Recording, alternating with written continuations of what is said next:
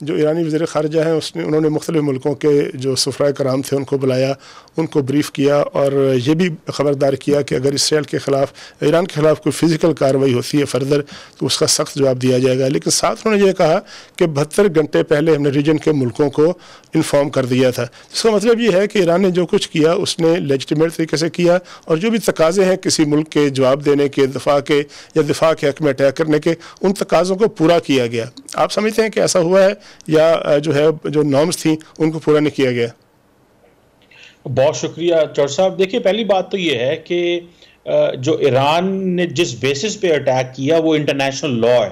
For example جو ایران کا mission you N میں ہے انہوں نے کلیئرلی کہا کہ ہم نے یو این چارٹر جو آرٹیکل 51 ہے اس کو مد نظر رکھتے ہوئے یہ ایک ریٹیلیٹری ملٹری سٹرائک کی ہے اور یہ ملٹری ٹارگٹس کو ہٹ کیا ہے۔ اگر آپ نے دیکھا ہو کہ جو پریزیڈنٹ بائیڈن کی وائٹ ہاؤس کی سٹیٹمنٹ آئی ہے اس میں دو بڑی امپورٹنٹ چیزیں تھیں جس میں بیسیکلی امریکہ نے اسرائیل کو تنبیہ کی ہے کہ وہ فردر ایکشن نہ لے۔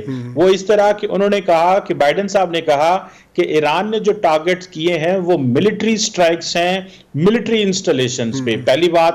اور دوسری جو بات انہوں نے کی انہوں نے کہا کہ ہم ایک کوارڈینیٹڈ ڈپلومیٹک رسپانس دیں گے فرام جی سیون جس کے اوپر وہ کام کرنے جا رہے ہیں۔ سو کوشچن یہ ہے کہ اس کا مطلب یہ ہے کہ امریکنز بھی ایکسپٹ کرتے ہیں کہ that was a right to respond وہ ظاہری بات ہے وہ سارے ممالک منع کر رہے تھے۔ برطانوی فورن منسٹر نے بھی ایرانی فورن منسٹر کو فون کیا جرمن پوری دنیا مڈل ایسٹرن ممالک نے ریکویسٹ کی کہ نہ کیا جائے لیکن یہ ڈیفینیٹلی یہ ایران کا رائٹ تھا۔ کیونکہ چور صاحب امپورٹنٹ چیز یہ ہے کہ اگر امبیسیز اور کونسلیٹس بھی حملے کرنے شروع ہو جائیں ممالک تو دنیا میں کوئی جگہ بھی محفوظ نہیں رہے گی۔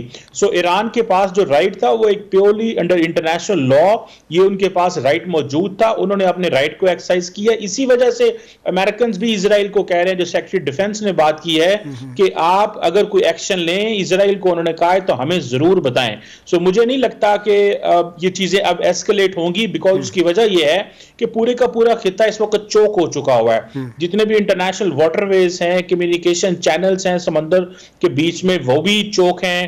انٹرنیشنل ایئر سپیس جتنی بھی مڈل ایسٹ کے اندر وہ بھی چوک ہے۔ سو اس کے اندر بہت سارا جو فائنینشیل کاسٹ ہے جو تمام خطے کو اور دنیا کو پے کرنی پڑے گی۔ اور مجھے نہیں لگتا کہ امریکنز اس وقت اسرائیل کو یہ الاؤ کریں گے کہ وہ اس بڑی جنگ میں یا اس بڑے پیمانے پہ انگیج ہو ہو سکتا ہے جی کمر چیمہ صاحب ہمیں جوائن کر لیا ہے لیفٹنٹ جنرل ریٹائرڈ عبدالقیوم صاحب نے ٹیلی فون لائن پر ان سے بھی ذرا ان کا انپوٹ لے لیتے ہیں۔ جنرل صاحب آپ ملٹری اسٹریٹجسٹ ہیں کہا جاتا ہے کہ کوئی جنگ جو ہے ایک فریق شروع جب کرتا ہے تو پھر وہ جنگ اس کی مرض سے ختم نہیں ہوتی۔ وہ جو دیگر فریقین ہیں دیگر جو اسٹیک ہولڈرز ہیں وہ پھر انوالو ہو جاتے ہیں۔ ایران کی طرف سے حملے کے بعد جو جیسچرز آ رہے ہیں جنرل باقری صاحب نے کہا کہ ہماری طرف سے ٹارگٹ پورا ہو گیا تو اب ہماری طرف سے اس معاملے کو ختم سمجھیں۔ کیا پاسبل ہوگا کہ ایران کی خواہش باری یہ معاملہ ختم ہو جائے گا یا پھر دوسرے فریق جو ہے وہ اپنی مرضی کرے گا؟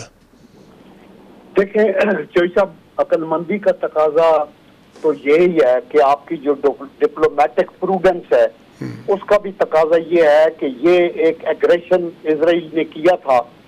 جس کا جواب دینے کا حق تھا ایران کو اور چونکہ انہوں نے اپنی عوام کے سامنے بھی جواب دے ہوتی ہیں حکومتیں اور بین الاقوامی برادری میں بھی آپ کا ایک امیج ہوتا ہے کہ آپ کے کونسلیٹ کے اوپر یا آپ کی کسی ملٹری پوسٹ کے اوپر حملہ ہوا ہے تو آپ نے جواب نہیں دیا۔ آپ کو یاد ہوگا کہ جب بالا کوٹ پہ انڈیا جیسے بڑے ملک نے ایک ایگریشن کیا اور ایئر سپیس کو وائلیٹ کیا تو پاکستان نے بالکل پروپورشنیٹ اس کا ریسپانس دیا یہی بات جو ہے ایران نے کی ہے کہ انہوں نے پاپولیشن سنٹرز کو جو ہے نشانہ نہیں یعنی آپ کے خیال میں جو ایران نے جواب دیا ہے رد عمل بھی دے دیا ہے لیکن ساتھ ریسٹینٹس کا مظاہرہ بھی کیا ہے تاکہ بات جو ہے کنٹرول سے باہر نہ ہو جائے۔ فار شور بیکاز ایران ایک ریسپانسیبل ملک ہے۔ اس کو تو بیڈ لائٹ میں یہ پیش کرتے ہیں۔ دیکھیں آج دنیا میں یعنی دوسری جنگ عظیم کے بعد اور پھر کولڈ وار کے خاتمے کے بعد یہ جو گلوبل نارتھ تھا وہ ڈامینیٹ کر رہا تھا اور اس کی ڈامیننس جو ہے وہ گریجولی ایروڈ ہو کے گلوبل ساؤتھ کی طرف جا رہی ہے فائنانشل بھی اور ادروائز بھی۔ اور یہ جو سیونتھ اکتوبر کو حماس کا حملہ تھا اسرائیل کے اوپر، اس دن سے اور جس کو وہ الگ کے نام سے انہوں نے کہا یہ ایک ریئیکشن تھا اسرائیلی ایٹروسٹیز کا جو over a period of time جاری تھی۔ اور اس کے بعد گلوبل نارتھ اور ساؤتھ میں ایک واضح آ گئی ہے جس میں خطرات تھے جنگ کے۔ لیکن آئی ایم شیور کہ ابھی یہ جو ماڈرن بیٹل فیلڈ ہے یہ اتنا لیتھل اور اتنا ڈسٹرکٹیو ہوگا کہ اگر اس کے اندر نیوکلیئر کے ٹیکٹیکل ویپن بھی شامل ہوئے تو یہ تباہی بربادی جو ہے انسانی بس کے بعد کی نہیں ہوگی کہ وہ روک سکے۔ تو دیٹ از وائی امریکہ بھی کاشس ہے اور ادھر چائنا رشیا بھی جو ہے، جو ڈومینیٹ کر رہے ہیں گلوبل ساؤتھ کو۔ جناب صاحب یعنی آپ کا کہنے کا مطلب یہ ہے کہ سچویشن خراب بھی ہے ریٹیلیشن بھی ہوئی ہے، لیکن ساتھ ساتھ جو بھی فری کہنا ہے، کہیں نہ کہیں ان کو اس بات کا احساس یہ ضرور ہے کہ اگر معاملہ جو ہے وہ کنٹرول سے باہر ہوا تو اس کے نقصانات، اس کے مضبرات کیا ہوں گے۔